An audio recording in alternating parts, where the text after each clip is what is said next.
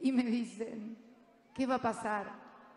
Y yo les contesto, va a pasar lo que ustedes quieran que pase, porque ustedes son los que están empoderados, ustedes son los titulares de los derechos, son los millones y millones de jubilados, son los millones de trabajadores, son las amas de casa, son los peones rurales, son ustedes, los jóvenes.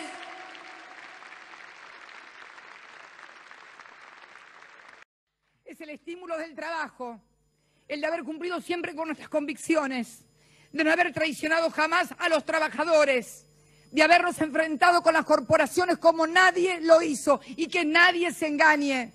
No somos nosotros el problema. El día que no estemos nosotros, como se lo dije muchas veces a los trabajadores, irán por el verdadero objeto, que es volver a lograr mano de obra barata en la República Argentina como la tuvieron durante décadas.